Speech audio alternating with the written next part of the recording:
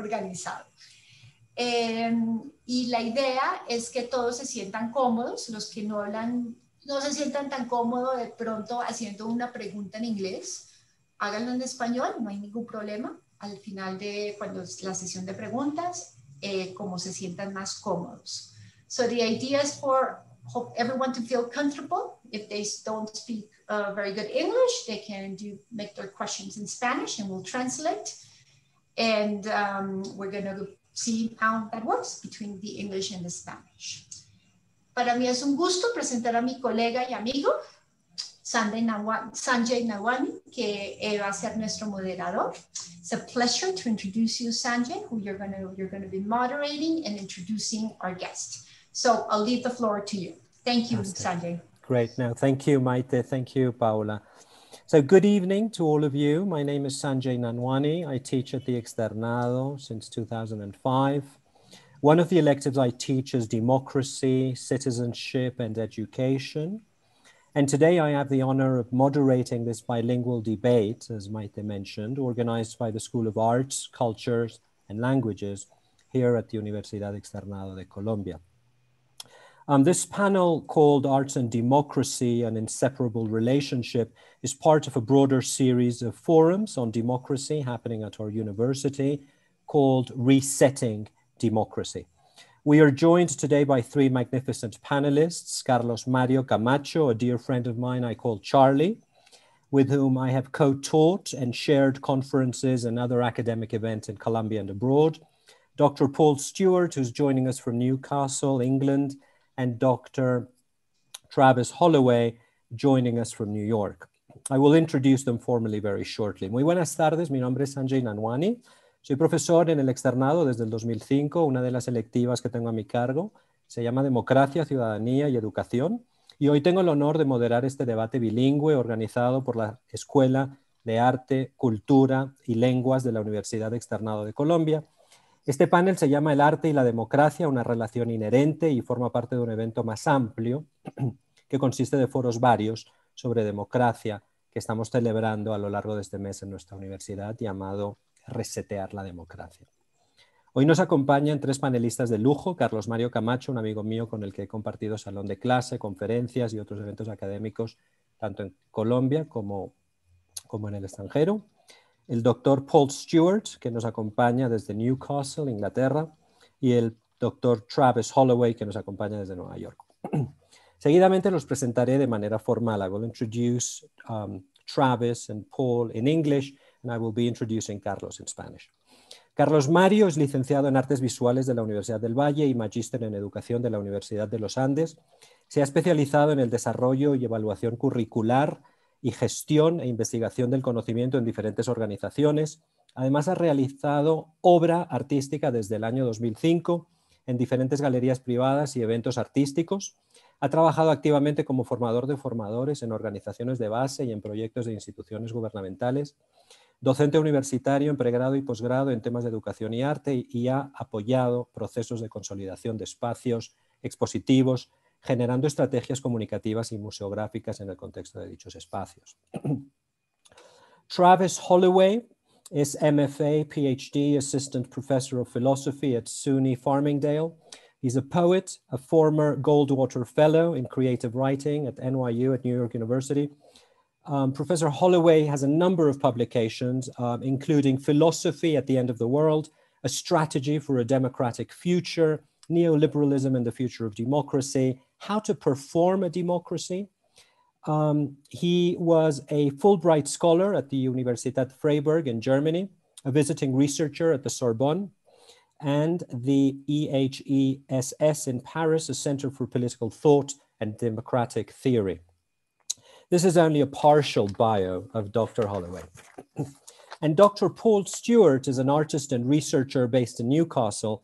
He's a lecturer in fine arts at Teesside University, He holds a PhD in arts, in art and philo in philosophy from Teesside University, and an MA in art and politics from Goldsmiths College, as well as a BA degree in fine art from Lincoln University. He co-founded the Middlesbrough Art Weekender in 2017 and has set up collectives, including the Alternative Art College, and currently is co-running Bad Spirits with Dawn Bothwell. I hope I'm pronouncing her name correctly. Um, core elements in his academic research include the effects of neoliberalism on higher education, democracy and art practice and critical pedagogy as a methodology in art making, as well as research into digital communities and art making and the effects of digital making on curation and collection processes. His art practice uses performance and collective making to consider the relationships to space using geodesic do domes and karaoke. His new book with Routledge, Art, Critical Pedagogy and Capitalism will be available uh, next year. so each speaker will have 15 minutes each, after which we will have a conversation among us, and this will be followed by a Q&A uh, where the wider audience will be able to formulate their questions. Cada panelista tendrá 15 minutos a partir de ahora para su charla y después eh, tendremos una conversación entre nosotros y abriremos el espacio para preguntas del público. Okay, so Paul, if you would like to begin. Brilliant. Thank you very much, Sanjay. Uh, thank you very much for the um, amazing introduction and for having me here. If I'm talking a bit quietly, it's because my family are all asleep in the house because it's quite late in the UK. So um, just trying not to wake anyone up by getting overexcited talking about art and democracy. Um, let me just share my screen. Um, but it's a pleasure to be here. Um, I am really looking forward to hearing all of the um, the different talks. Um, and I'm hoping to kind of try and cover a cross section of some of my thinking around the relationships between art and democracy um, and underpinning some key terms around hegemony, commitment, and involvement. Um, I can talk too fast, so if I am rambling on a little bit, do uh, do raise a hand and and tell me to slow down because it's a bad characteristic I do have. So commitment to involvement. So a lot of my work is bringing together this relationship between art education, social action, um, towards kind of revolutionary, more radical forms of forming democracy. Um, a lot of my work focuses around an amalgamation of thought from Antonio Gramsci, Paulo Freire, Chantal Mouffe, um, dedicating an understanding of art or art making um, around the context of collective ownership of democracy through an art context. Um, so some key areas I kind of really want to touch upon um, is around the relationship I draw between education, power and democracy, the emphasis I place on commitment, um, a few examples of practice, uh, and finally trying to conclude, conclude through an adversarial outcome, um, which I'm just now realizing is probably far too much to try and cover in a 15 minute presentation. Um, but I will try and just skim through some of these ideas. I'm going to start by starting with what I mean by hegemony. So I come at this looking from Antonio Gramsci, who's an, an Italian Marxist, um, thinking about what the relationship between democracy and hegemony is in his work. So some may argue that hegemony is best understood as a theory of dictatorship and is therefore incompatible with democracy. Others position that hegemony is inconceivable in the absence of democracy. My aim is to consider hegemony as a form of moral leadership and therefore depends on power utilized by liberal democratic institutions. And the reformulation of these institutions is through cultural and knowledge productions. And by also seeing hegemony as established through the social action as a revolution. Gramsci thus paradoxically combines a deep appreciation for liberal democracy with a basically Leninist conception of politics and in this relationship, I am considering the social action of hegemony, so of power, um, as a relationship to be distributed, distorted, revolted, and reimagined through the role and production of art, and specifically its relationship to our ownership of our own education. So through the ownership of education or, or understanding our own pedagogical forms, we have ownership of our own power in some, in some way. Um, there is no hegemony without democracy is a view of Ernest Laclau, Chantal Mouffe, uh, which I agree with. Like them, I interpreted Gramsci as a sharp break with Lenin's ideas about the state and revolutionary strategy. So what I'm kind of really looking at here, to, to God, I'm, i know I'm covering quite a lot in a very short space of time, but he hegemonic structures are the makeup of their subjective passions. So therefore, what I'm saying is that power is made up of subjective principles that we're positioning together to form those hierarchical relationships, and the dismantling of them are similar. So it's the significance of understanding both a cultural and a social relationship we have to our, our knowledge of, of power. And through our artistic and learned practices, we can think or reformulate those relationships. So really what I'm trying to position with maybe uh, critical pedagogy as a, as a methodology in our practice is the purpose to consider how the ownership of education as a social tool away from commercial economic factors can lead to the questioning of neoliberal hegemony.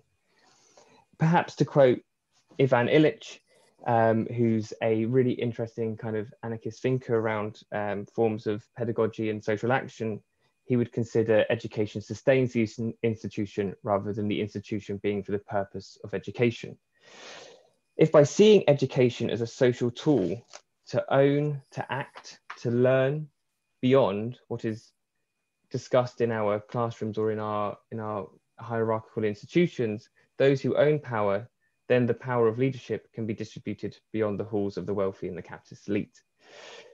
So following on from this, the reason why I'm talking a lot about pedagogy is because I, I do believe from my own experiences of higher education is that the role of, of learning within an art context is also the fact of understanding that the process of making art is the process of becoming, or the process of understanding the nature of materials and collectives and working with. It's also a nature of maybe understanding the world in some way. I'm not subscribing any kind of particular way to making work. I'm kind of using the metaphor of art making to kind of understand the ways in which that we build democratic societies. I think that's maybe the, the best way of explaining my relationship and passions between art understandings of of pedagogy, but also democratic understandings of, of learning. So one of these kind of key terms that I use a lot in my work is around commitment.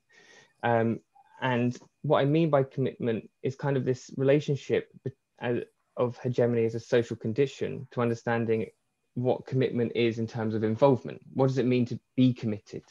What is an involvement with a, a committed strategy? beginning by seeing commitment in an art context as a representative tool for beginning to imagine adversarial relationships. So no commitment is a commitment without an idea.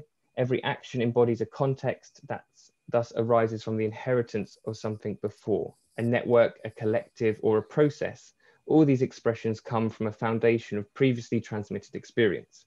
So to think of commitment is to think of a transmission of existence.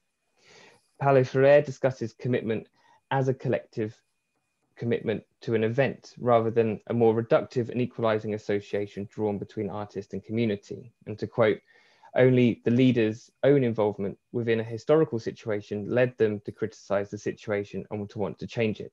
If they do not make such a commitment, withhold the indispensable conditions for that struggle. In terms of commitment, what I'm interpreting here from Freire is this ownership of reality, meaning the ownership of the social conditions being that of those who own power. And to want to make changes to these social conditions, it is through committing to the conditions of the struggle, a commitment to the involvement. In the context of being adverse to this, the idea for commitment is one that considers the ethical complexion of knowledge transmission through social conditions. And what I mean by this is understanding the methods of which we make art practice to communicate with a greater audience to some extent um, just to kind of demystify maybe some more of that theoretical language and to generalize that in a more um, um, accessible term. So taking this idea of commitment to include involvement is to also navigate the constraints of production. This notion sees value in the artwork's ability to hold an affinity to an idea beyond an artist. So from concepts of, of uh, Jacques Rancière, uh, commitment in an artwork is not possible as there's no category of art called commitment and instead this is seen as an attribute of the artist. Rancière observes that, and I quote, it can be said an artist is committed by their writings, paintings, films, which contribute to a certain type of political struggle. An artist can be committed, but what is that to say the artwork is committed, end quote. So the understanding of practice is the differentiation between the politics of the artwork and the politics of the artist, the difference between the politics of aesthetics and the, the politics of our political. So the aim is to frame a commitment to involvement, thus seeing commitment as the process of becoming us them in some way. Um, I will get to the artwork at some point, I do promise. um, so just to really re-highlight that as, and the specifics that I'm trying to get to is to emphasize the importance of collective involvement and the attention I'm drawing to the processes of sites of action. So I'm really kind of thinking about the idea of the relationship of art practice is in the action of doing, in this form of communication that to, to many outside of a commercial art context would be seen as useless, but the uselessness of the nature is its useful utility to question the world in some way. So um, what I'm going to quickly try and skip through is some forms of my own practice um, that I've done it over the last uh, decade or so, um, which is normally kind of breaks down as, as Sanjay said, as geodesic domes and karaoke, right? Seems to be two uh, key elements um, of it. And I mainly because these can be used collectively to build these objects and use our voice to occupy space. So it's thinking about how we own space and how we can claim space in an institution, both physically and through our own voices. Um, it's a lot more fun in person rather than just seeing these images. So this is at Baltic in Newcastle, which is uh, the Baltic Centre of Contemporary Art, um, where here we're working with a, a, group called Syllabus, which is an alternative art school organization um, who are all kind of studying an, alternative to an MFA. Um, and in this space, we're considering how we can occupy the environment of the institution through the two methods I said, through both an auditory uh, method of singing Diana Ross on karaoke at the same time as building and forming scores within a geodesic dome. Um, it might sound a bit throwaway, but it's kind of physically interpreting the methods that I'm putting forward through some ideas of collective action that can integrate people's kind of physical learning as much as their their mental learning with those ideas. Um, so I'll just flick through a couple more of these images. So here's a series of interventions that were held at MIMA, where I work now, which is the uh, Middlesbrough Institute um, of Modern Art. I com completely forgot what the acronym stood for there for a second. Um, uh, which these were in 2015, and it was working with an artist called uh, Harold Offeh, John Reardon, and Hannah Kemp Welch. Um, the video here you can see on the side um, is Harold Offeh, who was doing a series of performances called uh, Choreograph Me, where uh, spectators to the institution, this is during a Pedro Reyes and a Pablo Helguera exhibition at MIMA, um, and Harold was considering how an audience could use his body like a utility within the space and to navigate his body around that environment. Um, here's a later work of his, which is called Industry as a Drag. If you don't know Middlesbrough, it's known famously for its steel. The steel was the same steel that built the Sydney Harbour Bridge. Um, it's got a really famous bridge in the town centre as well. And he was discussing this idea of uh, in, in industrial past and it's and it's um, uh, under, trying to understand also its queer presence um, using both industrial kind of methods of of materials. In this image, he's using sandbags. He was also dragging an anchor around Mima um, whilst industrial house music was playing. So I'm kind of showing you kind of brief generalizations of some ideas of how the practice can formulate from these ideas. And I'm not necessarily um, categorizing an art format. I'm not necessarily trying to create a genre, um, nor am I trying to tell people how to make work. I'm just trying to demonstrate how of some of the ideas can begin to formulate questions of, of democracy or ownership of, of space through interventions, really. So um, to kind of conclude this back into the theoretical context is this idea of to be adversarial, not necessarily to think about democracy as a us them relationship, but thinking about this kind of uh, forming of the the we, the plural, the pluralistic approach, the idea of understanding uh, the nature of of of action. So rather than to create enemies, it's still trying to understand an adversarial relationship. So this shift towards a more socially focused governance through adversarial democracy is achieved by removing the veil of freedom. Since the term freedom under neoliberalism only exists in the ability to exchange elements of existence based on a rule of self-government. And I'm kind of taking this, I'm going to, be really general here and very quick, but from uh, works by Boris Buden, in kind of responses to autonomous spaces of deregulation and critique, where he states, and I quote the full quote, which I have here, which is the notion that one could freely choose to become instituted outside the neoliberal world belongs entirely to this neoliberal world. In other words, those who believe that the question of whether one is neoliberal or not is simply a matter of free choice do not even need to pose that question because they have already answered it. Free choice is the form in which neoliberalism has hegemonized or, to stick to neoliberal jargon, privatized or patented free will. Those who can privatize or patent water plants, or even gene manipulating beings can privatize or patent the free will as well. It is specifically in the form of free choice that neoliberalism owns the exclusive copyright to free human will. Those who make us make use of it today are already involuntary swearing allegiance to the neoliberal hegemony. Now that might seem like quite a doom and gloom kind of quote, maybe for this time of day, when probably uh, it's probably raining everywhere as it's raining here as I speak right now. I'm sitting in an attic room, I can hear it pummeling on the roof. Um, but to think about that, it may be in a positive term, is where where do we need to be ready? You know, ready to dismantle this nature of, of free of free will from the privatization of freedom itself.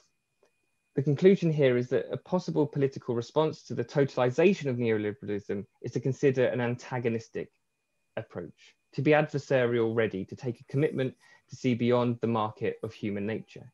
This process can lead to the ownership of education as a social tool, as ordinary, and as daily life.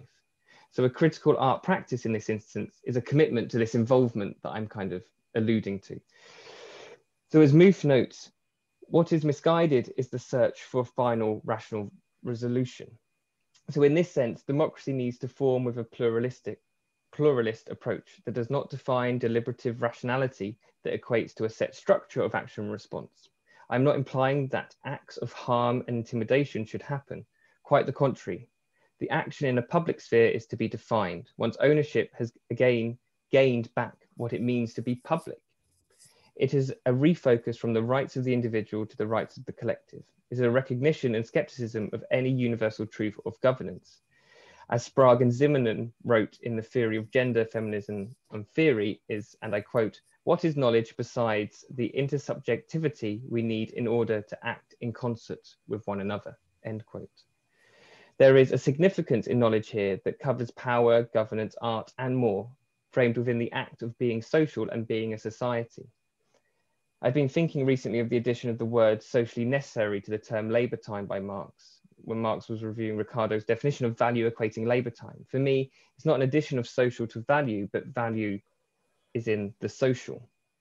So by thinking about human nature and relationship with others, pluralism is central. But what is also fundamental is recognizing that for pluralism to work, we need to acknowledge the imbalance inequality of life choices affected by class, race, gender, disability, and so on. As Joseph Carens writes, and I quote, a commitment to pluralism will, will require a respect of cultural differences, end quote. So in so doing, a commitment to pluralism is recognizing that freedom and equality mean different things to multiple subjectivities that suffer various forms of oppression or subjugation. So what do I mean is a radical democratic formulation for a critical pedagogical approach to hegemony is one where power is given and owned as much in our classrooms as it is in our elected chambers, where knowledge is not to a tool to be governed by, but a tool to collectively govern with. Okay, brilliant. Thank you very much. Great. And um, I'm just sharing you here. These are some reference I can of what I've, I'm referencing here, of text, if anyone is of interest. Great. Per perhaps we can share this later on with whomever might be interested. Thank you so much, Paul. Thank you so much. Um, so now it's uh, Carlos Mario's turn. Ahora te toca a ti, Carlos Mario. Qué nervios. Qué nervios, no, no te creo. Sanjay y yo tenemos una amistad muy especial, por eso nos tratamos así, pero les pido disculpas a todo el resto de personas que están involucradas acá. No mentiras, no ningún disculpas que eso, hacemos parte de esa camaradería. Ok, listo. Bueno, eh, cuando Maite y Sanjay y, me invitaron a, a, este espacio eh, y me dijeron que íbamos a estar acompañados de estos dos académicos, eh, pensé yo en presentar un ejemplo de cómo aterrizaban, digamos, los artistas en ese escenario democrático sus propuestas y las representaciones alrededor de lo vivido, de lo real y del contexto. Eh, como para poder, digamos, eh, poner en carta blanca, digamos, todo lo que se ha hablado alrededor de los conceptos y de ciertas prácticas. Eh, y en esto se me ha ocurrido a mí, hace dos años, con, el profesor Carlos Quintero también, realizamos una investigación alrededor de un estudio de caso de tres artistas, José Horacio Martínez, Paola Tafur y Diego Mendoza Imbachi, que en estos momentos están conectados y les mando un caluroso abrazo y muchas gracias por estar conectados, porque estos tres artistas trabajan en... Eh, en el Valle del Cauca y en el Cauca y hacen exploraciones alrededor del paisaje y las tensiones sociales.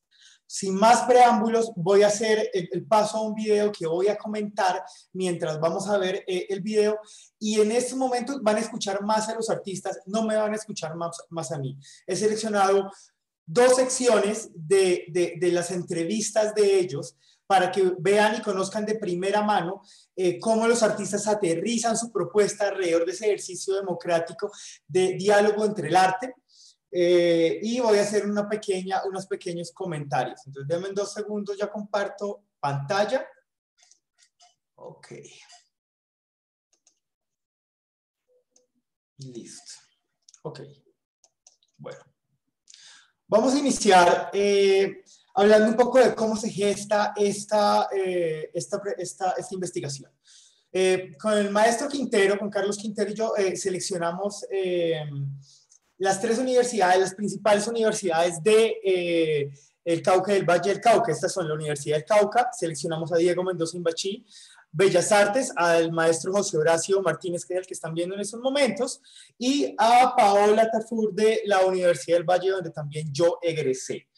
Estos tres artistas eh, se les hizo unas investigaciones, se les hizo unas entrevistas, se les revisó el portafolio y tuvimos un diálogo alrededor de cuáles eran los derechos civiles que más impactaban en sus obras.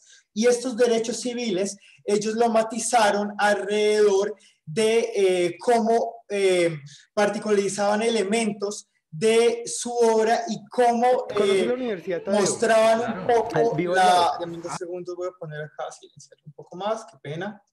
Listo. Y cómo eh, ellos podían eh, hacer elecciones morales alrededor de qué involucrar. Aquí vemos a Diego en su taller y Diego tiene una fuerte conexión con la representación de las grandes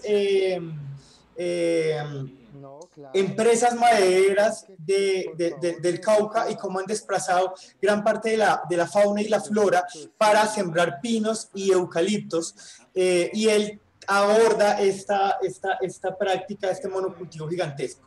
Ahí vemos unas imágenes detrás de escena con el maestro José Horacio Martínez, eh, digamos que es de los tres artistas el que ha tenido una vida más, proli, más, proli, eh, más, amplia en relación a, eventos artísticos y a, y, amplitud de obra, y él trabaja alrededor de los corteros de caña y de la abstracción de las tensiones sociales alrededor del fenómeno social del cortero de caña y de la afrocolombianidad presente en el, en el Cauca y el Valle del Cauca.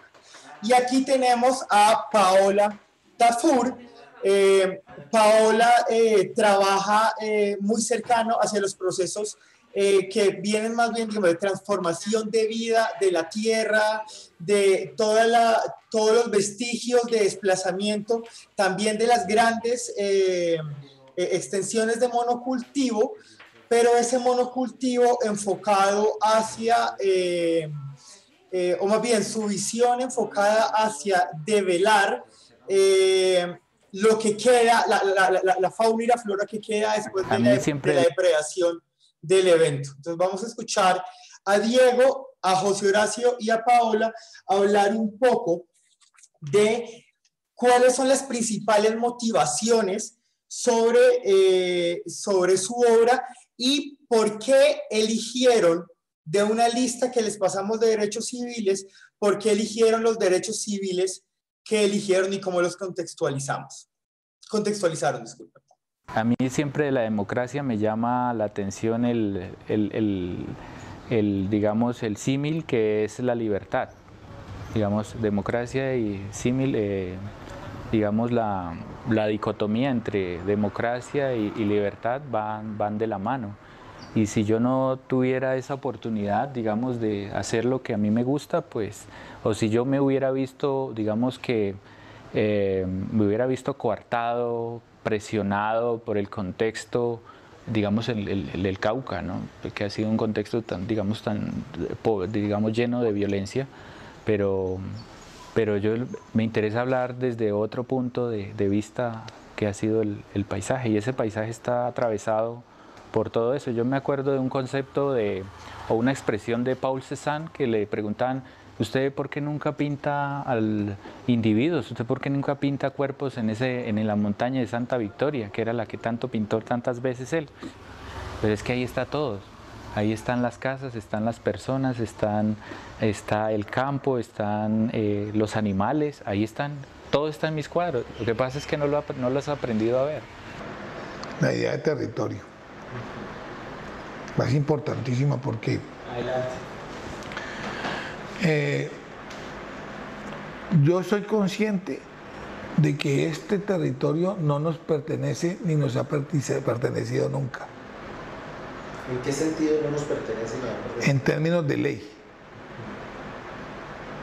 Pero nos hemos formado en, este, en un territorio con una serie de comportamientos que involucran tanto al que manda como a los que obedecen, al amo y al esclavo llamémoslo así, aunque sea complicado, utilizo el término, pues, el, señor feudal y sus siervos. Bueno, entonces, digamos, los territorios son espacios en donde, bueno, las relaciones humanas están, pero también está muy conectado con la naturaleza, ¿sí? Digamos, en el trabajo, este territorio al que yo pues que me parece importante y que siento que desarrollo tiene que ver con la alimentación, ¿sí? con los cultivos, con las transnacionales, con los campesinos, ¿sí? sin decir que ese es un tema, ¿no? Para mí no es un tema, sino que atraviesa, digamos, todo lo que estoy haciendo. Sí, porque yo, digamos, dentro de la investigación que hago, arte y tierra, es el enlace que yo tengo en la investigación todo el tiempo con materiales orgánicos, con ciclos que se cumplen ¿sí? de vida a muerte, en el que yo no intervengo, sino que la naturaleza lo hace y yo en, medio de esa, de esa relación yo agarro mis materiales. Entonces empezamos a ver cómo los artistas seleccionan estos, estos, estos eh, derechos civiles y empiezan a plantearse, digamos, representaciones de justamente esas, esas tensiones. ¿Y, qué, y, luego ¿qué, ¿qué, resulta de ello? Pues resulta una teorización alrededor de los fenómenos de violencia, de, usurpación, ¿cierto? De, de, mezcla, como lo vemos aquí entre, entre lo natural. bueno, hay un aspecto... Y, eh, qué pena, lo, lo natural y lo orgánico, entonces vamos a hablar ahorita un poquito, vamos a escuchar un poco de cuáles son esas elecciones después de, de, de, pensar en cómo desenvuelven y cómo se desarrollan eh, sus ideas alrededor de las elecciones de los derechos civiles, cómo desenvuelve su, su plástica. Bueno, hay un aspecto, pero más que pregunta, una situación que, como una característica, más bien llamémosla, una característica que me parece importante y que pude resolver hace poco, no crean que yo lo tengo claro desde siempre, ¿no? Resulta que yo siempre decía, bueno, entonces el trabajo de vida y muerte, ¿no? En la obra de Paola Tafur, el trabajo de la vida y muerte, ¿sí? Vida y muerte, el ciclo, y que los animales, y que la tierra, y bueno, todo ese ciclo, yo decía, bueno, entonces, ¿qué estaré trabajando? La muerte de la muerte, de la muerte de la obra de arte. Yo me hacía esas preguntas.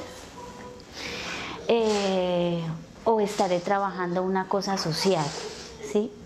O sea, mis proyectos serán eh, proyectos sociales para eh, incentivar y activar en las personas el arte, sí, mi rol como pedagoga, artista, eh, va a revolucionar esta calle. Sí, porque no, tampoco pues que, el barrio, no, pero sí una comunidad específica, unos vecinos así contados. Entonces decía yo, bueno, si mi labor es pedagógica, entonces yo voy a hacer el recorrido, yo voy a hacer la guía, voy a hacer unos talleres, entonces donde ellos se van a acercar al arte, así como tenía todas esas preocupaciones en un principio, que se fueron cambiando. Después dije, ¿será que yo lo que estoy haciendo es estética relacional? Porque salió este libro y entonces leas el libro para ver si usted, si sí o, no. Ah, no, es que en el libro no me nombran, entonces no, yo como que no, no estoy haciendo estética relacional. Entonces dice uno, no, pero entonces eh, salen todas esas preguntas, ¿no? Si lo que uno está haciendo se parece a qué, básicamente, se parece a qué, porque usted necesita, eh, en un principio hay esa necesidad de ser clasificado, de ser eh, clasificado, señalado, catalogado, ¿sí? En exposiciones o en donde usted tiene esa necesidad y usted con el tiempo se da cuenta que pues no, que, que eso no es, o sea que, que finalmente usted como está construyendo su camino, ¿sí? Entonces va a llegar un momento que alguien va a decir que yo estoy haciendo estética relacional, otro que piensa que no, otro que da otras opciones. Mira que de alguna manera es, es imposible no tener, eh, de, de el tiempo del, del, espacio, ¿no? Y todo eso que nos conforma pues está presente allí. A mí me gusta mucho preguntarme cosas como esto. ¿Qué clase de peón soy yo? Entonces, o soy alfil. Entonces yo pienso que en ese punto, digo, eh, ese territorio donde estoy, en el que estoy moviéndome, que es temporal y ¿cómo se llama? Eh, efímero, es donde de alguna manera extraigo la, la, los elementos fundamentales que abordo en la obra. Es los que me proporciona ese tejido. Pero me gusta a mí, dentro de eso de ser el ser el tiempo y el azar, preguntarme sobre de dónde viene, de dónde lo estoy tomando. ¿En qué sentido así como de, de dónde lo estoy tomando? Mire, hay una relación eh, vivencial propia del individuo. Voy a ponerle un ejemplo, me gustan los ejemplos porque a veces son más claros que lo que yo pueda decir, las barbaridades que pueda decir. Cuando usted ve tanta gente conectada a las noticias, pues la gente habla de las noticias, eh, que son de alguna manera la elaboración de un redactor que hace un compendio de, de acontecimientos y te lo brinda a ti, te lo lee y te dice, mire lo que pasó, la opinión pública es la pública opinión de la clase dominante, recordaremos a Armand Matelar. Entonces cuando nosotros hacemos ese convenio, nos damos cuenta que la gente también se olvida del el hecho fundamental de darse cuenta que están vivos y qué es lo que está aconteciendo en sus vidas. Las noticias, el cine, el video, to- todas estas cosas que nosotros vemos a diario, y la pintura, inclusive el arte, son chéveres porque es que nos brindan una relación muy dinámica del mundo. Nos hacen creer que el mundo es vertiginoso. En realidad el mundo no es vertiginoso. En realidad los cambios suceden con muy, muy, muy... suceden muy lentamente. de una gran cantidad de territorio nativo colombiano, digamos, han desplazado flora nativa y han, digamos, puesto su- su- una nueva flora, ¿sí? una nueva naturaleza. Esa na- naturaleza se ha, digamos, como es propio del natural de la naturaleza, ella se acomoda, se instala y germina.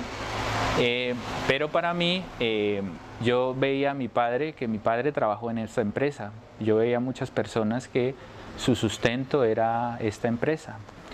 Eh, pero me llamaba la atención, era, después de un tiempo me llamó todo ese, ese proceso, eh, porque es algo violento, es siempre te, darte cuenta de que lo que miras con tanta, entre comillas, naturalidad está totalmente construido, ¿no? Y eso es algo, eh, siempre se, ha sabido y ha estado tras bambalinas el tema de que siempre las grandes multina- multinacionales han aportado algo a los sectores digamos, más, digamos, eh, a, la- a las, digamos, a las fuerzas insurgentes.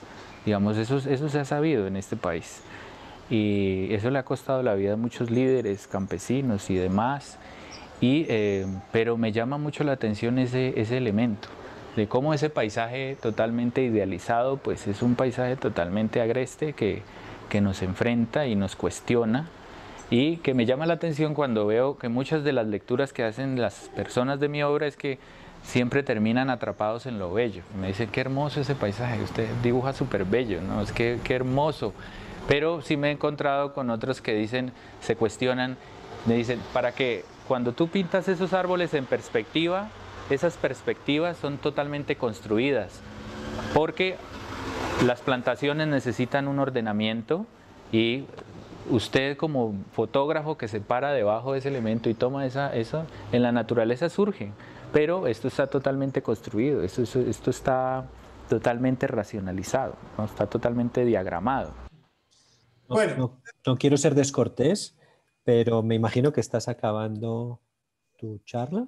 Sí, ya acabamos, Listo. Entonces, justamente eh, les, quería, les quería mostrar estos tres fragmentos, digamos, en crudo.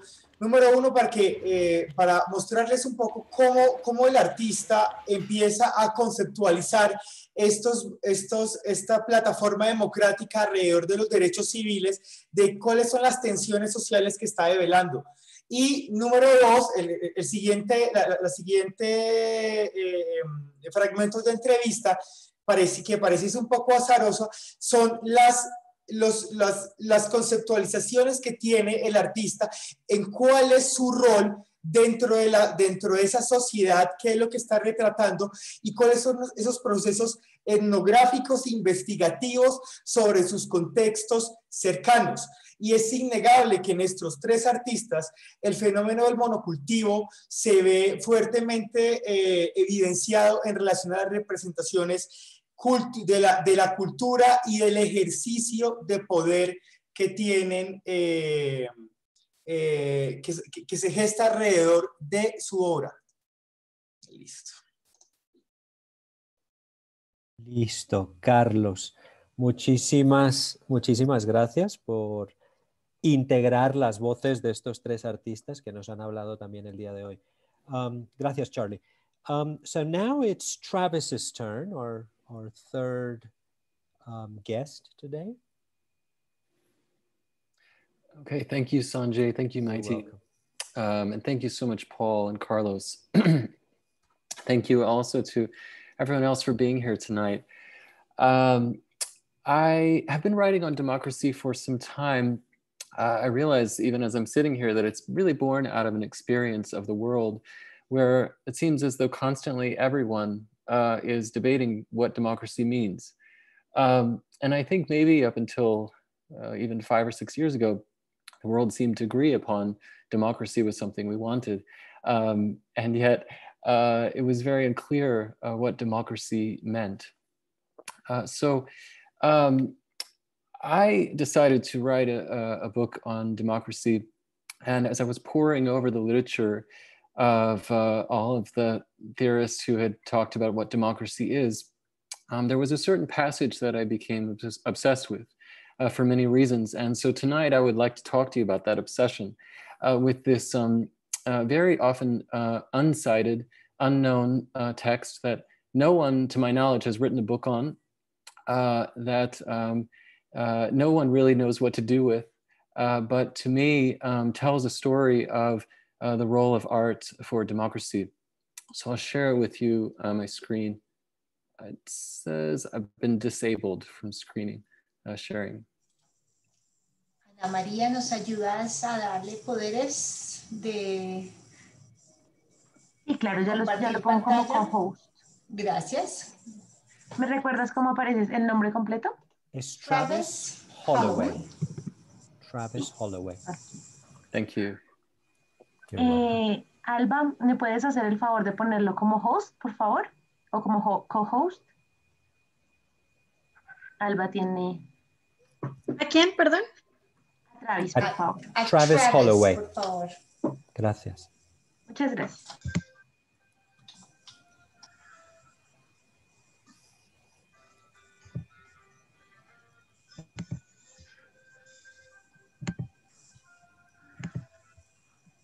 Listo. Ah, there it is. Thank okay, you. Okay, you're ready. okay.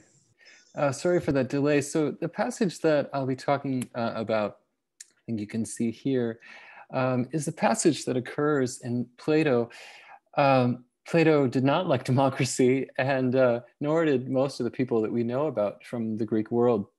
Um, but because of their hatred for it, they recorded uh, some of the instances that were interesting about democracy. So they, they tell us about it in a way because um, they despised it uh, so much. Um, now, we don't need to begin with the Greek world, of course, to talk about the origin of democracy. There are multiple sites of democracy. Uh, there are new discoveries being found every day. Right now, there's a lot of attention being played to the ancient Mayan civilization and the possibility that there was some sort of um, democratic process going on there.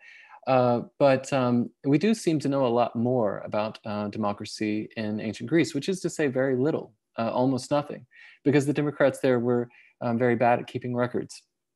Uh, nevertheless, uh, what I do want to share with you tonight is um, this very curious passage where Plato says that the origin of democracy in ancient Athens was actually in the theater. And here, when we speak about the theater for ancient Athens, it refers to music, to poetry, to choreography, uh, to the mise en scène, that is to scenery uh, and other features. Um, so it really does uh, encompass the whole of the performing arts. I'd like to do what I try to do in my classes, which was just look at the text uh, quickly with you. So we'll, we'll, read it and then we'll try to make sense of it. Uh, here's Plato. When the old laws applied, my friends, the people were not in control. I'm thinking primarily of the regulations about the music of that period. Once these categories had been fixed, no one was allowed to pervert them. People of taste and education made it a rule to listen in silent attention and the general public could always be disciplined or controlled and controlled by a stick. As time went on, composers arose who started to set a fashion of breaking the rules and offending good taste. They jumbled together laments and hymns, mixed paeans and dithyrambs, and even imitated pipe tunes on the lyre. The result was a total confusion of styles. Consequently, they gave the ordinary man not only a taste for breaking the laws of music, but the arrogance to set himself up as a capable judge. The audiences, once silent, began to use their voices. They claimed to know what was good and bad in music, and instead of a musical meritocracy, a, a sort of vicious uh, theatrocracy arose. So, in this passage in Book Three of the Laws, Plato promises to give a history of uh, democracy and how it was born. Uh, what's curious is that in every instance, um, Plato's historical examples check out. They're uh, uncharacteristic for Plato. Um, they're very specific historical details. And one of the interesting things that we will note when we look at this is that Plato here is not referring to the initial democratic revolution that we, we often speak about in Athens of 508, 507 BCE, where the population stormed the Acropolis for three days and eventually um, found reforms and in, instituted them. He is rather speaking about a second democratic revolution that is barely ever mentioned uh, by Thucydides. Um, by we can't really find much of it in Aristotle's uh, uh, uh, Athenian constitution and elsewhere. But he's speaking about a second revolution um, that took place in the mid fifth century, from a more aristocratic government to a highly democratic form of democracy he says, What I mean to speak about is the most democratic form of democracy that existed sometime after the Battle of Salamis, which is 580 BCE, um, and up until the start of the Peloponnesian War. So this mid middle period um, of the fifth century, which is the 400, uh, 400s in, um, that's how we, how we describe that in the BCE.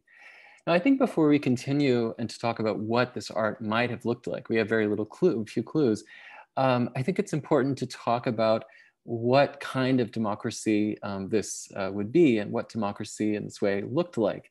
So uh, allow me just uh, for a moment to um, uh, discuss uh, some of the things that uh, seem to characterize this most democratic form of democracy.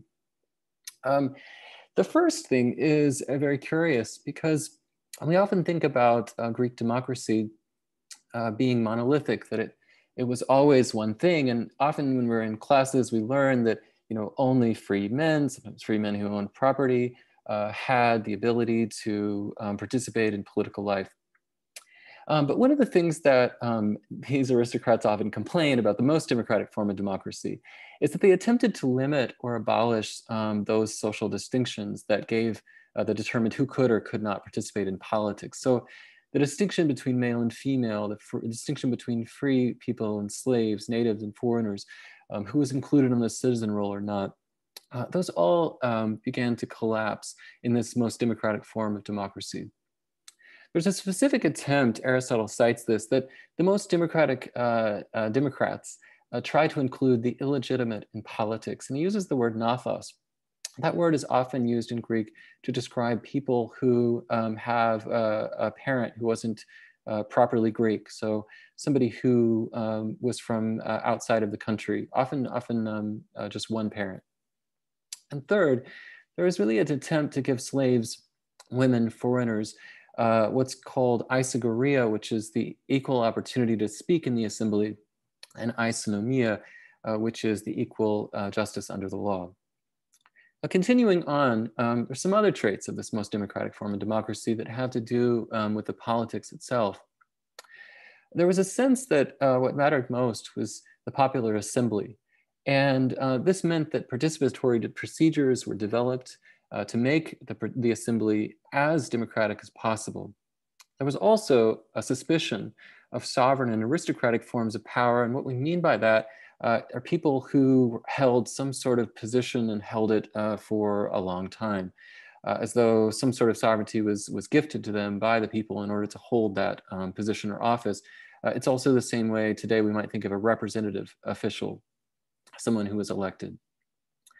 There was also, interestingly, a certain distrust uh, in juridical institutions.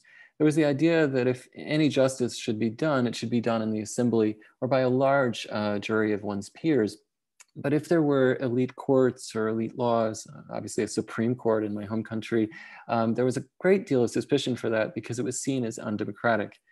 Uh, there was also a certain kind of censorship, um, mainly that the aristocratic leaders were banned from making lengthy speeches or having unequal time in the assembly. And finally, um, there was also uh, both a, a, taxation system and a way of life. It seems that under this most democratic form of democracy, there was a heavy progressive tax uh, on the wealthy specifically, and a confiscation of their property. So oftentimes this meant uh, that, the, that the very wealthy's uh, homes or their gardens or whatever were confiscated and used for public purposes. There was also a public financing system uh, that allowed everyone to participate in the assembly. So you'd get paid a very good wage to participate in the assembly or on the court. Um, and uh, you'd also, interestingly, get the same, uh, you know, kind of payment uh, to participate or to be trained as a choral member uh, or to, be, uh, to participate in art. Um, a couple more things, just more theoretically, there's a, the elimination of theoretical distinctions um, between forms of life, so between animals and humans, between um, what philosophers will refer to as logos or fine speech, and phone or bare voices, or those without logos. And there's a way of life that aristocratic philosophers gendered as feminine, as being specifically feminine. Um, and they associate this not specifically with freedom. We often think of, as Paul was talking about, that, that ideal of freedom, whatever that means today as well. It's another word that we're still debating what it means. Um, but when we look at the literature surrounding the most democratic form of democracy, we see that it wasn't just freedom, but the freedom to pursue pleasure, um, specifically in time of leisure, when one wasn't working. And finally, I want to mention this because it has such implications for our justice system today. Um, you know, one of the things that Socrates says about the extreme democracy is that isn't the gentleness toward the condemned exquisite in it. So there's a sense there that you know there isn't this large uh, society of incarceration. Ironically, um, spoken by Socrates, of course, uh, who was um, who was put to death um, for practicing philosophy. Uh, in my going back to what this uh, theater must have looked like, the theater that brought this democracy into being. Uh, in my research, uh, I have been asking the question that, as I mentioned, uh, a lot of people have um, not been able to address, which is what kind of music gave birth uh, to this form of democracy in the middle uh, of, um, of the fifth century? If Plato says it began in the theater, and if he says it specifically began in its type of music um, that's being played, and here again, the the Greeks didn't really segment um, the performing arts. They referred to a lot of things as, as music because it was musicae, it was inspired, um, something inspired by the muses. Uh, so what was it though? What kind of performing art uh, was taking place? Uh, and I tried to answer this question initially in this article, How to Perform a Democracy, that Sanjay referred to. I'd like then to just briefly go over um, what I think, what I've been able to piece together are the key characteristics of this type of art that gave birth um, to a more radical or more democratic form of democracy, according to Plato. Um, I think one of the more interesting things is that this took place on the basis of um, the dithyramb. Uh, the dithyramb was originally uh, referred to a hymn uh, that was was sung in honor to Dionysus, and it was associated with uh, with wine and wine drinking. So it is, um, Aristotle will say, the origin uh, for our understanding of Greek tragedy. But what I think is especially interesting is that the dithyramb is not a Greek word. And so there is some sense that here um, already, you know, in this supposed origin of democracy and the supposed country where we're supposed to find its birth that we all follow, um, that it's that it's not Greek. Uh, there, it was already contaminated or polluted or foreign, um, and uh, that it somehow enters uh, and, uh, from outside of, of what is um, properly uh, Greek. And the second thing that I could mention is that uh, whomever these musicians were, that they rejected aristocratic standards of music and didactic art so we can find um, ancient commentaries on music, uh, like one written by the pseudo Plutarch. Um, he calls it On Music. And he describes that this art goes against public morality. You know, it goes against um, uh, decency, uh, all these things uh, that you might expect uh, to hear um, from an aristocrat. Uh, and in its place, it develops a kind of style of new music. Um, that's sometimes the phrase that's given to this style of music that is associated with, and this is important, people like Lassos, Melanippides, and others. And the reason why um, that's those names are important is because um, even though I don't think for a second that these people actually invented this music, I think they, you know, uh, were part of a larger movement. Uh, it is important that we find, these are the names we find, uh, Lassos and Melanippides, surrounding both the initial democratic revolution um, and uh, on the cultural calendar of ancient Greece, so there's a cultural calendar of Athens. It says who won, you know, the poetry contest on this date, who won it on this date. And the two names that are mentioned right before um, the initial revolution of 508, and then right after um, are Lassos and Melanippides. So we know that they were um, somehow held in high regard, and they're the only names mentioned on that cultural calendar at this time of democratic revolution. Um, what is also interesting, I think, is that the, whatever the style of music looked like, and again, we have to speculate, we're guessing. This is part of the work of being like an intellectual detective, and I think it's uh, really exciting, but also really difficult. Um, the, the word that's used um, to describe this kind of music initially is the word um, polyphonia, what becomes, you know, poly, uh, polyphony. Polyphonia in Greek just means multi-voiced or many voices. Um, and there is an image that I found uh, in a poem by Pindar where he speaks of polyphonia um, loosely, he alludes to it.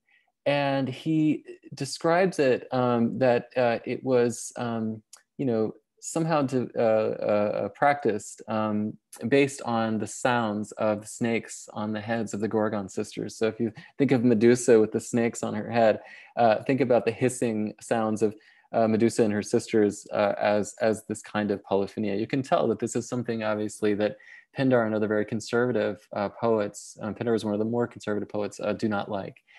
Um, uh, one of the interesting aspects of this art is that it, it foregrounds music over lyrics. So uh, it seems to be the case that what Plato wants is for a very didactic form of art where there is a message uh, through lyrics, and those lyrics are the most important thing you know, you're meant to pay attention to the words.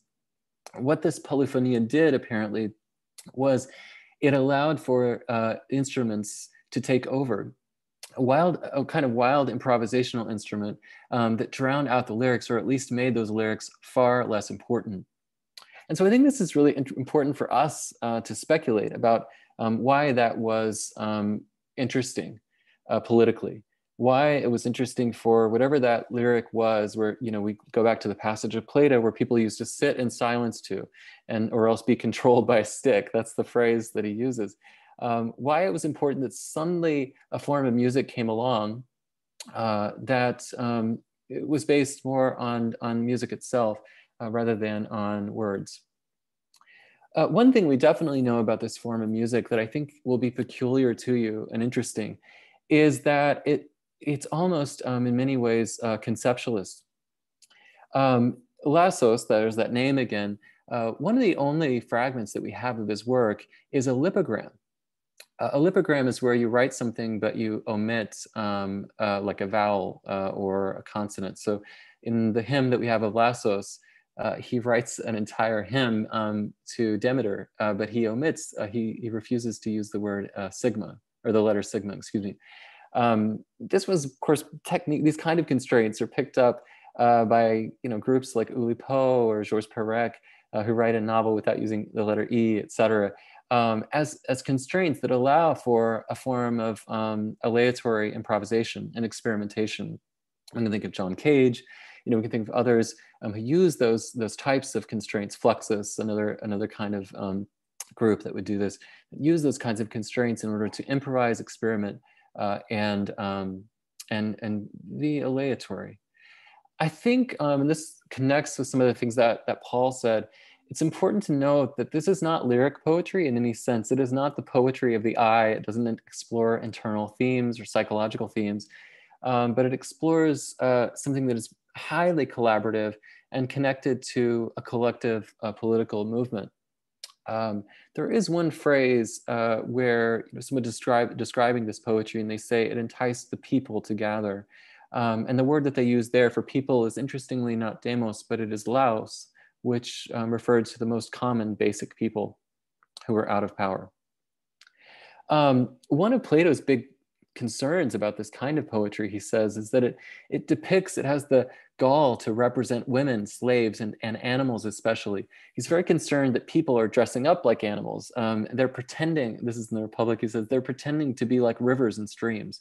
And so, what I think is so fascinating about this form of art, taking place outdoors, of course, is that it has some connection, just like a lot of other art does, to non human life.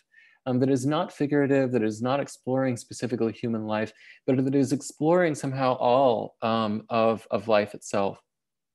Uh, and um, finally, that it's participatory in nature, it's not an art of spectatorship. So, the other question that we could ask then is if this really began in music, um, you know, if the people began to see this performance and then they began to cheer it on or make make you know judgment over it in the audience for the first time, and that's how they learned how to basically practice democracy. And then following that, they they figured out how to do that in the assembly. Um, what did this music sound like? I think this is really the question that we speculate about when we think about the crux of what is it, what kind of art um, would beget democracy. Here's what um, is one of the only descriptions we have of this. Uh, we have one more in the laws that I could show you, but this is um, probably the most comprehensive. Uh, the pseudo Plutarch, um, he's writing in the name of Plutarch, but he's not really Plutarch, so that's why we call uh, him pseudo. Uh, he, he describes um, the origin of this with Lassos, and he says, by affecting in Lassos' song a polyphony of the flute, polyphonia, through the incessant division and crowding together of his notes, and by making his dithyrambic pieces subject to rhythmical laws. Lassos produced a complete revolution in the art of music that gave rise to a licentious multiplicity of notes.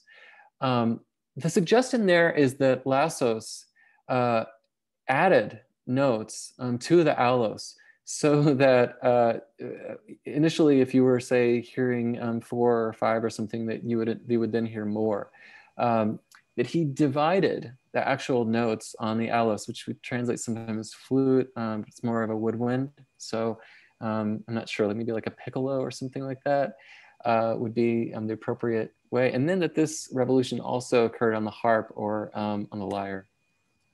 So finally, what implications might this have for art today, which is really where I hope our conversation goes tonight. Um, I think if there is an art of democracy, we can learn from this historical example that first, uh, in this, at least in this example, it was not, because there are always multiple ones, it was not an art of um, spectatorship, but one of participation. And there was a participatory nature to it that felt open, um, where you know everybody could sort of walk in and be autonomous uh, in that sense. Um, I think the second thing that is very hard in our contemporary neoliberal um, climate, uh, where everything is about the I and where we're all um, self-entrepreneurs, uh, so to speak, um, that, that what we need for democratic art would be an art that is anonymous, collective, or third person. So under the name of a collective or under the name of no one, um, but not in the language of the I. Um, that seems to be complicit uh, with, with everything that it seems to be destroying democracy um, whether it be on the right um, with the cult of the figure, or uh, you know um, something like uh, neoliberalism. Uh, sorry, on an authoritarian sense in the cult of the figure, or something like um, a more capitalist sense, like uh, uh, the cult of um, the I. Cult of the self entrepreneur. I'm wondering, Travis, if you could go through these final points so that we can um, open it up and give access to the audience as well, who might also have questions. Great. So very quickly, um, mm-hmm. uh, so you're telling me that um, wrap it up, as in other words, in a nice way. kindly, kindly. yes, thank you, Sanjay. Uh, so um, these are just some final points um, very quickly. We can think about art also as an archive um, that documents a story. Um, we can think about public art, the need for public art. Uh, uh-huh. I think um, one of the more interesting things is this was not didactic art. Um, but it, democratic art may be experimental and improvised. It may not look like public murals that tell exactly how we should be.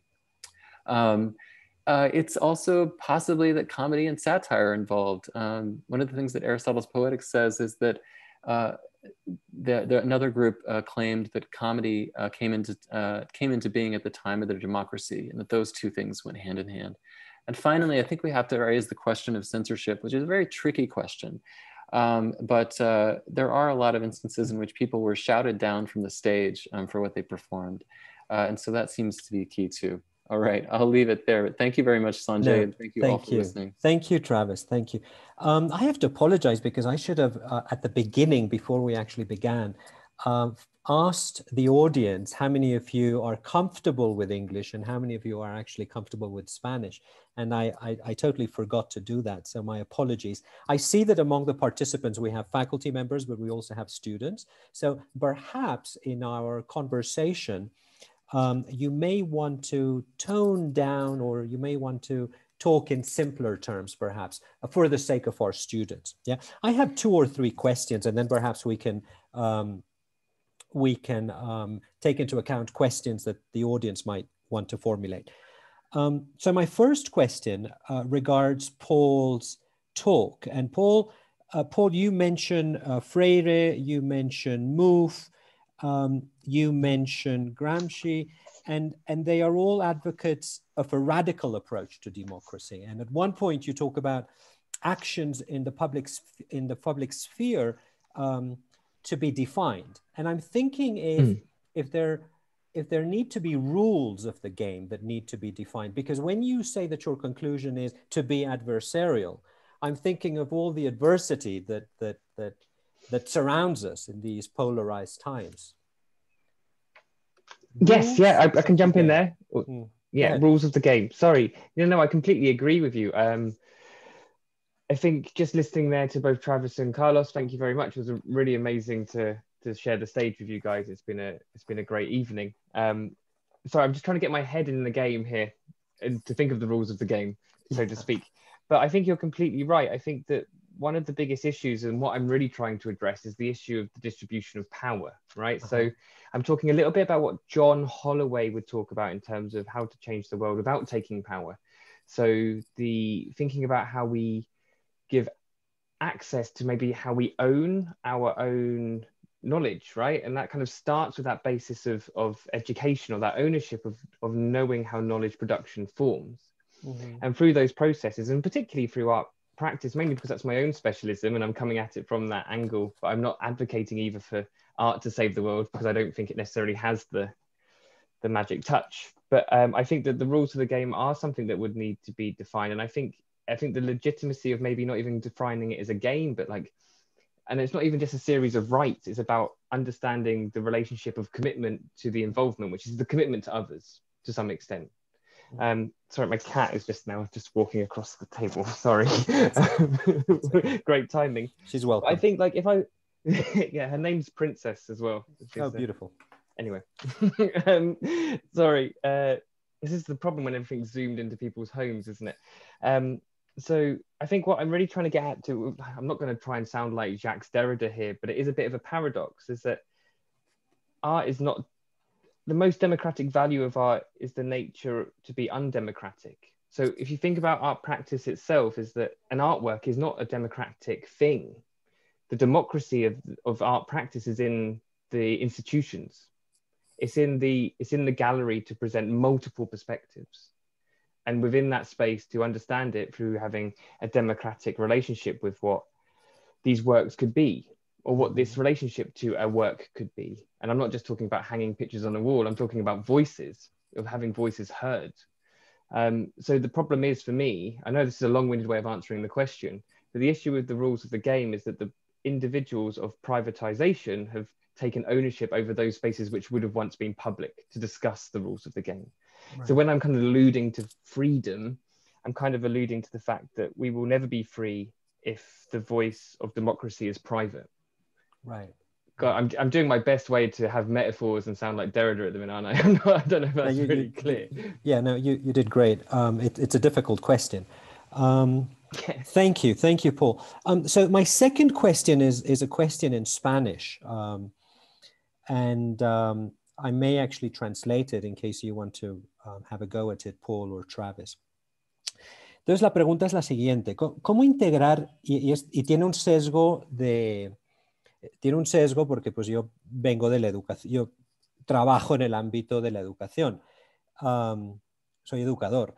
¿Cómo integrar el arte en otros campos disciplinares um, para cultivar seres humanos más allá de artísticos, si se quiere, más humanos y más preparados para desempeñarse en sus respectivas carreras? Estoy pensando en, en en los estudiantes que estudian derecho, en los estudiantes que estudian finanzas, en comunicación social. Estoy pensando si estoy pensando en cómo integramos eh, esa educación artística y cómo específicamente cultivamos una sensibilidad artística. My question is essentially how do we integrate art in other disciplinary fields? We have uh, a faculty of of social communication. We have students who are learning, who are pursuing degrees in finance, government, and international relations. How do we integrate art into, the, into, into education more broadly? And how do we cultivate artistic sensibility? Charlie, Paul, Travis, el que quiera. Ok. Eh, a mí me parece que por ejemplo, a poner un ejemplo. Los docentes de colegio nos llevan años luz en eso. Los ejercicios de transversalización curricular eh, eh, en las diferentes disciplinas lo tienen más que aprendido y lo, y lo saben hacer muy bien. ¿Y por qué? Porque he comprendido que el conocimiento hace parte, digamos, del, del, accionar y el, y, el, vivir de manera cotidiana. Y es que un estudiante no puede particionar su cabeza, nosotros no podemos particionar nuestra cabeza respecto al entendimiento, la transformación y el, la comprensión de un fenómeno cualquiera, un fenómeno social, biológico, físico, químico, el que sea. Eh, y ahí pues, em, nosotros estamos involucrando todo el tiempo en ese proyecto cognitivo emocional, el gusto, la percepción estética, la sensibilidad frente al espacio. Entonces, por ejemplo, si vamos a ver, por ejemplo, cualquier eh, práctica de un docente de eh, ciencias sociales o de matemáticas que están involucrando la percepción estética, la historia del arte, para poder apalancar otros contenidos, pues me parece que la tienen supremamente ganada. ¿Y cómo pueden, digamos, integrarse en un ambiente un poco más universitario? Por ejemplo, además la pregunta, digamos, en derecho y tal. Pues la verdad es que, por ejemplo, los proyectos de aula alrededor de eh, las elecciones morales, como lo vimos también en la, en la, en, la presentación, sobre qué consideramos que es, eh, que le genera, que es, que es valioso retratar, abordar o gestionar eh, los seres humanos los gestionamos alrededor de la percepción y la intuición. Entonces me parece que son, digamos, herramientas, son elementos a desarrollar en ese, en ese campo, en ese, okay. con Ok, listo. Gracias, Charlie. Um, tengo una tercera pregunta, a third question, and then perhaps we can open it up to the audience, um, which will be great to hear your voices. My third question um, has to do with the fact that democracy is among the most prostituted words. Yes. um, how can democracy regain what it stands for? And perhaps from a normative standpoint, what it should stand for. Yeah. Um, what are we supposed to actually do with democracy? Uh, if democracy is performative, meaning relating to the nature of dramatic or artistic performance, how can we, how can we support present and future generations to perform it? Especially, I'm actually thinking of um, education systems where we have a set way of doing things, where the structure um, in, in, in different aspects remains traditional. How do we support present and future generations to actually be able to perform this democracy? Well, I think that um, maybe I could, if unless Paul or Carlos want to speak to this, um, I think that it begins by actually practicing it. So if we look at the movements that have taken place over the last decade, there are attempts to perform or practice democracy in public space. Um, the Indignados movement, um, the Occupy movement, Nuit Debout, it continues, where people in Puerta del Sol in Madrid or people in downtown New York City, Wall Street, are having nightly assemblies and they're developing democratic procedures so they can get a taste of what democracy looks like. That was what the, the slogan was, by the way. This is what democracy looks like. And so there was an attempt to reclaim that sense of democracy. And furthermore, there was an attempt to say, we are no longer attempting to reform this current government in what we are doing right now. Mm-hmm. We, we believe that this government is so far uh, technocratic and so far undemocratic um, that we want to give people an autonomous sense of what democracy actually looks like. And in order to do that, we have to divorce ourselves from, just for a moment, from fighting for reform of the current system. And that destituent power, which is um, the power of you know, us getting together uh, and doing things like this, uh, or us getting together and uh, sharing a meal together. That I think is, is the way that we do it. And art is so key to it because art, of course, uh, in that, even that word, art, uh, re requires um, knowing the praxis or the skill of what those procedures really look like. Mm -hmm, mm -hmm. Great, thank you. I see two questions. One of them is from Izana. Uh, Izana, do you actually want to um, ask your question? Sure.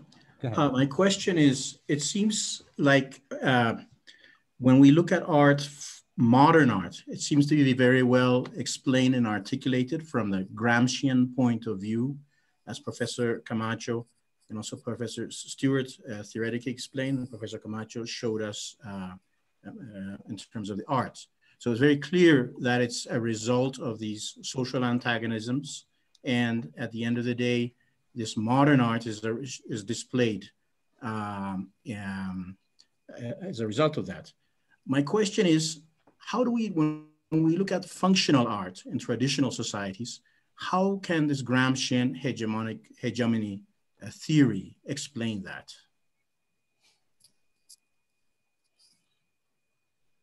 Um, yeah, I'll, I'll jump in there. I just maybe could I get you to define maybe a bit more what you mean by functional art?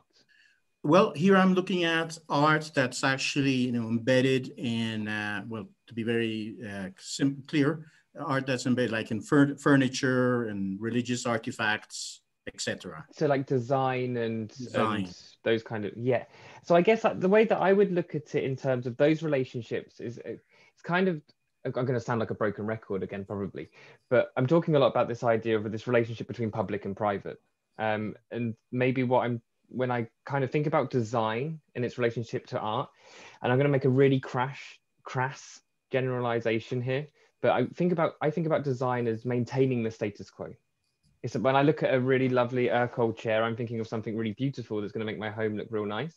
Do you know what I mean? I'm thinking about like the aesthetic value of something. Mm-hmm. But when I think about contemporary art, um, which I think is what you're alluding to within this kind of Gramscian context, I'm thinking about something that disfigures the status quo. And I'm not talking about something that makes it uglier. I'm talking about something that questions it in some way. It kind of creates a publicness to maybe highlighting something that needs to be understood or communicated differently. And I'm not trying to say that design can't be political, but if I thought about things that were made from our commercial context of consumption at present. I would think about design in something that makes my world a bit prettier, but maybe doesn't, in that same way, navigate those angles. But that's not to say that design isn't something that you can teach in the same way you could teach in a contemporary art context. And there is radical forms of design if we thought about it in terms of architectural forms. So if we looked at it in terms of architecture, the way in which buildings are designed is to either maintain or control or to govern people. So it, there's lots of ways that you can start to look at look at design. And I'm going to finish with one final little point, I promise, and then I'll stop talking. Um, but if you looked at Gramsci in terms of the ideas of the collective intellectual, or like all of the paradoxes he kind of poses in his notebooks, so the, the thing that says there's no such thing as a non-intellectual, therefore we are all intellectuals. Therefore, if we looked at it in that way, when we approached both design, art, science, technology, engineering, what we're really addressing here is our responsibility to others in some way. And I'm not trying to be relativist, I'm trying to really highlight that the fundamentals of which we design our buildings and design our museums in terms of whether we've got a ramp at the door for access or whether we we have the acknowledgement that we're recognizing different people's sovereignty or different people's uh, cultural agendas or identities is about highlighting that sometimes we have to look beyond ourselves as individuals. So i think I've, in a roundabout way i've probably not answered your question. No i think you have. Thank you. Thank you. Great. Thank you travis. Um, so there's a question from may joseph for travis. And she and and and it says thank you for the beautiful talk. Could you elaborate a little on the panathenaic hope i'm pronouncing this correctly performance traditions and the peripatetic practices of the agora as performative democratic engagements that's that's a great question, and it's um, I can see where one's one's mind would go in that direction to say, is this a, was this a broader phenomenon? How were these arenas um, structured in, in its staging? Were they democratic or were they fundamentally anti-democratic? Um, speaking of the, um, the Panathenaic performance and uh, the Agora. Um, I don't know that I can speak uh, to these specifically. Um, I do want to highlight the Greek word that occurs um, in describing these gatherings is agon. Um, and agon is a very tricky word to um, uh, for me uh, in this scholarship because on the one hand, it refers to a gathering, a kind of festival, and so it could refer to the Panathenaic, uh, you know, uh, uh, competitions or something like this um, that took place. But on the other hand, um, it could refer to some kind of festival that lacked competition, um, that that was more of a, a, an event where people came together and it felt celebratory uh, and um, full of leisure uh, and of course full of wine. I mean, that was the point. Uh, now, with regard to the peripatetic practices, the only thing I have for you uh, is something from Bakhtin, uh, who spends a lot of time talking about the falloforms. And the falloforms, according to Bakhtin, are people who followed the religious processions um, that left the Agora and went down to the theater. And they followed them with these, these giant, um, so I, I, don't know how to say it otherwise, but penis heads um, to poke fun at, sorry for the pun, but to poke fun at uh, the religious uh, nature of these people. So it was a form of comedy and satire. Um, but I think, I think because um, of, of who you are, I'm sure you have much more interesting inklings about how, uh, what these, um, these things might entail. So uh, mm-hmm. I, uh, I'd, I'd, love to hear that. That's all I have for now. Great, thank you. Thank you, Travis. Uh, I, I don't see any more questions from the audience. I'm wondering if I can ask Charlie a question. Um, Charlie, entonces tú nos muestras eh, la investigación que llevaste a cabo, que integra a tres artistas, y hay un marco común que es el de los derechos civiles. E, e, ¿Este marco común surge a partir de las interpretaciones de los artistas o lo identificas tú? Ok. Eh, pues digamos que el, hay, hay, algo que, que, es de destacar de los tres artistas y de los artistas mucho del Cauca y del Valle del Cauca, es la respuesta que tienen frente al contexto. O sea, una de las, de las características que tienen los tres artistas justamente es develar las tensiones sociales alrededor de las representaciones que tienen sobre el paisaje caucano y valle caucano. Entonces, cuando nosotros estamos haciendo la recolección de datos, les entregamos a ellos eh, el listado de derechos civiles para que lo lean, conceptualicen su obra y la pongan eh, y teoricen sobre ello. Y como vimos, digamos, en el primer fragmento, eh, Diego eligió la, la, libertad de expresión y de, digamos, de segundo, tercer puesto eligió el territorio. Paola y eh, José Horazo eligieron también como primera opción eh, el derecho a la construcción del territorio. ¿Y qué tiene diferencia el, el, paisaje al territorio? Es que el territorio tiene ya la mano del hombre y tiene los elementos culturales alrededor del código, del símbolo y del, y, y el signo. Entonces, eh, algo destacable, digamos, digamos de, los, de los tres, es que a pesar de hacer, digamos, o buscar la belleza alrededor de, de las imágenes, y no son imágenes panfletarias ni son imágenes que están reivindicando algún eh, actor social, pero sí son imágenes, como lo decía Diego, por ejemplo, una imagen domesticada de el, el domesticada sobre eh, las plantaciones de eucalipto y pino y, y, todo el desplazamiento de personas que han habido atrás, digamos, atrás de estas prácticas, como lo decía José Horacio y lo mostraba al principio, sobre ese territorio que no le pertenece a nadie y como vemos justamente las negritudes, los procesos de, de, negritudes, eh, comunidades eh, negras, que solamente las usan para cortar caña en Cali, son población marginal. Y por último, de Paola, eh, vemos como todos esos vestigios biológicos eh, alrededor del corte de la caña y la pavesa, por ejemplo, eh, desplaza la, la, la, fauna y la flora nativa. Y pues al final, pues nada, ver justamente cuáles son las preguntas alrededor de ese rol social y democrático que tienen ellos. Ya, gracias, gracias. Hay una pregunta que me parece bien interesante precisamente hablando de territorio o haciendo referencia a territorio. Olga Molano pregunta lo siguiente, me gustaría que algún exponente diera su opinión, I will translate this, sobre cómo incentivar la sensibilidad artística en países como Colombia, pues es fundamental para una sociedad democrática. This is a question um, Paul Travis from Olga Molano, and she says, I'd like uh, one of the panelists to give their opinion on how to promote um, artistic sensibility in countries like Colombia, um, given that it is fundamental for a democratic society. And I understand that uh, Paul, you're in the UK, and um, mm-hmm. Travis, you're in New York, and Charlie, of course, that's in Colombia. any one of you could go. I think my my inclination on that question would be that um, I think that it's best known within its own cultural context of how best to implement that relationship, and I wouldn't necessarily want to make a suggestion from my own position on how another should consider their cultural makeup one thing that always plays in my mind is from a, a, a British Marxist called Raymond Williams, and he talks a lot about this idea that culture is one of the most important elements of our being because culture is ordinary, it's everyday, and we need to remind ourselves that it is something that is everyday. It's what makes us and binds us, and it's our language that we communicate with. Mm. So the things that we use to decorate our home, it's the things in which we use to form our own identities and our collective being. So for me, if I think of culture as ordinary and everyday, I think of myself as somehow more connected with an understanding of how culture can avoid or art practice can be avoided from becoming elitist and more democratic in some way. That's my, a very sidestep to answer your question. Okay. Uh-huh. I would also say uh, less uh, elite, an art that is less elite, an art that blends high and low culture an art that's more participatory, that's more free, it's more public, that doesn't require an entrance fee. Um, and um, uh, yeah, an art that is good and inspired, an art that's funny, um, an art that's light.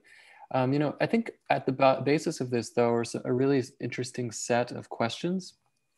I'm reminded of Hannah Arendt, who said that when we're very exhausted, we consume art that is trash. And if there's one thing I know about the direction, at least things are going here in New York, where I'm at, uh, it's that more and more people are exhausted um, and they don't have time uh, to make art uh, or to enjoy it. So I think about things like um, probably one text that Paul and I both revere is um, The Nights of Labor by Jacques Rancière, who speaks about the 19th century factory worker who loved to get off work and not think about, you know, the trade union, but who love to get off work and think about the opera uh, or think about poetry or think about this. Um, but again, Arendt, the more exhausted we are, the more um, we consume trash. We have we have no capacity in our mind uh, except for things that are compost um, because we're exhausted. Mm -hmm. Okay, thank you, thank you. The... Adelante, Charlie. No, adelante, por favor. Yo pienso, yo pienso que, digamos, eh, en un país como Colombia, lo primero que hay que hacer es, número uno, es diversificar la oferta artística y cultural de este país. Número dos, fortalecer las instituciones que promueven y amplían los escenarios de diálogo de arte. Yo voy a hablar simplemente de, una, de un fenómeno que pasa aquí en Bogotá y me parece un poco fatal, que es octubre, el mes del arte. Nosotros estamos hablando justamente que esto es un escenario democrático, ¿cierto? Donde la participación plena de, los, de las personas eh, alrededor de, de, ese, de, la, de, poder obtener esos, esos, esos productos culturales debería ser amplia, ¿no? Pero todo, por ejemplo, aquí en, en, en, Bogotá se ha centralizado casi toda la oferta cultural alrededor de arte contemporáneo en un solo mes. Y se ha generado un ejercicio de volver todo galería y volver todo eh, salón. Las bienales, las intervenciones en los barrios, por ejemplo, la Bienal de Venecia, Bogotá, que era maravillosa, dirigida por Franklin Aguirre, eh, o los procesos de arte comunitario se ven cada vez más escasos en esta ciudad. me parece que Bogotá está, hay una supuesta amplitud alrededor de un mercado de venta de arte, pero otros espacios se están cada vez construyendo mucho más. Listo. Em, hay dos preguntas, y yo creo que van a ser las dos preguntas últimas. Una de ellas es formulada en español por, mejor dicho, hay tres preguntas, pero bueno. la primera, ¿se puede construir desde la variable arte la concepción de la democracia? Si es así, ¿cómo sería o cómo es? Uh, the question is, um, ¿se puede construir desde la variable arte? Can we construct uh, from the point of departure of art as a variable, yes, the variable art, the conception of democracy? And if so, how would that be? Valentina Castro, que creo que es una estudiante, sí, es una estudiante mía, pregunta, ¿el turismo sería un buen canal para promover la función social del arte? ¿Cómo fomentarlo? So Valentina Castro asks whether tourism could be a, an appropriate channel to promote the social function of art and how would it be promoted? And finally, thank you, Julian, for, um, for formulating your question in, in English. I have a question. What do you think about street art being a part of politics as a way of protest? See, you, you understand, Charlie. I mean, since art being at streets can reach more and more people than being at, for example, galleries and so on, the appropriation of public walls to denounce, report, or show in con in, conform, in conformism, in conformismo, like a kind of protest art, is becoming more visible or evident among some art collectives, at least here in Colombia. What do you think about that? I think we're, we're I, I think these are fascinating questions. Um, I'm a little concerned about time, so if you could be specific when responding when responding to these questions, that would be appreciated. So any one maybe of you could, with any maybe one I of the could speak to the first question. Um, Go ahead. Which is uh, can there be i think if i understand it can can there be an uh, art that constructs uh, democracy? Yes art is a variable to construct democracy. Uh, ah okay so even more open. Uh, so that that gives me some room. Um, but i think so it just has to be a certain kind of art that is some if you if you think about uh, the, the reason why i want to talk about this moment in ancient Greece. It's because it was an art that was collective. We were all assembling um, for this. We were all participating in it. Um, and it was, um, it was uh, something that people were voting on and judging, you know, themselves. Um, it, was, it was a place where you could get a free meal because the wealthy were being taxed and there were sacrifices made and, you know, everyone could eat. Uh, so I think there is something there. Um, and with the question of street art, absolutely uh, it's just so important that this that I don't think a democratic art is didactic. If you think about what didactic art is, what I mean by that is art that tries to teach us a lesson. And you think about the main, um, you know, street art movement of the last century, um, the muralists from Mexico. Um, I see that as a lot of didactic art, art explaining the horrors of capitalism, and then, you know, very briefly, maybe what it might look like not to be uh, a capitalist. Um, but it's art that explains uh, how we should act. Um, that doesn't seem very democratic to me. Uh, so the, at the same time, obviously, uh, uh what um, I think what Paul is saying about uh, an art that performs a kind of counter hegemony uh, and that is specific about it is extremely helpful. So these are nuanced um, questions, but I think interesting ones. I think just to jump in there off the back of Travis, and I think I can answer probably the same two questions. And I think my my answer to the one about art in its relationship, the art variable democracy, that's the three words that I remember. So I'm going to stick with those. But um, and then really quickly was that that for me, that's fundamental in the idea of seeing the process of art making as the actual form of art itself. So it's not thinking about an object, a finite end. It's seeing that the process of becoming is in the process of making. So whether that's through a performance, whether that's through a painting, or whether that's through that, it's that process of discovery or that process of becoming. And for the last question on street art, just picking up on also what Travis is saying, I also am very questionable of um, art in a public sphere at present because most of the time public art in some form is normally privatized. And especially if you look around the entirety of the UK, anything that is based on using graffiti based stereotypes now is normally funded by a, a commercial entity. So the nature of the medium itself, I don't think denotes the message. So um, I would think more around the relationship of that, the process of learning within the process of making in some way. Thank you. Thank you very much. I, I think that uh, we've come to the end of this um, incredibly interesting, very interesting panel. Uh, thank you so, so, so very much, um, Paul, for joining us from England, uh, Travis, for joining us from New York, y por supuesto, Charlie, por estar con nosotros desde Bogotá.